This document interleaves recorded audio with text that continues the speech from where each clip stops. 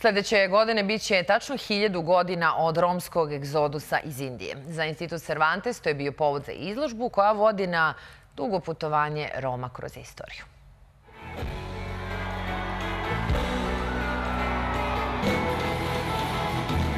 Brojni Romi dospeli su u Španiju i tamo ostavili dubog trag i zadržali se do danas. Joaquin Lopez Bustamante i Joan Manuel Olake Moreno kroz izložbu Romski život Lungo Drom prikazali su život zajednice Hitanosa. U početku nisu bili prihvaćeni i imali su loš položaj. Vekovi su prošli dok nisu postali ravnopravni članovi španskog društva.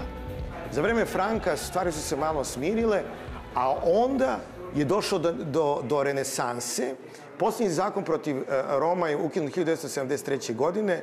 To je uradio Juan Ramirez Heredia, koji je bio član španskog parlamenta i onda sve kreće jednim potpuno drugim tokom. Problemi koji nastaju kada se susretnu različite kulture postoje svuda u svetu. Romi su se sa tim suočavali od uvek, gde god da su se naseljavali, jer su oni nomadi. Njihova kultura je mnogo drugačija, ali pronalaze ipak svoje mesto, pa i u Srbiji i u Španiji. Romi u Španiji dugo su bili diskriminisani. Nisu smeli čak ni da koriste svoj jezik i protiv njih je doneto čak 250 zakona. Ipak njihova snažna želja za životom i održanjem dovela je do toga da se danas u svim segmentima španskog života, muzici odevanju umetnosti prepoznaje uticaj Roma.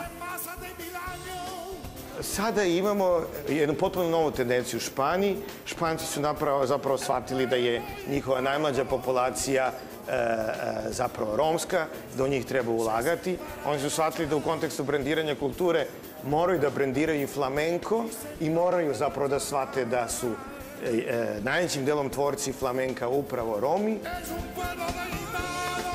Danas postoji čitav pokret koji se zove hitanizmo, čime je priznat doprinos Roma španskoj zajednici. Poznavalac istorije Roma i član benda Kal govorio je o tome šta je inspiracija romskim umetnicima i kako nastaje njihova muzika.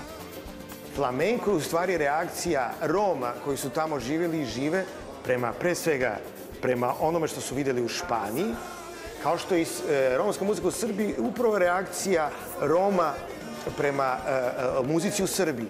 Ali taj, taj proces u kome oni oboje tu muziku, u kome je potpuno izvrnu, to je jedan alhemijski proces ko, koji niko ne može da razume.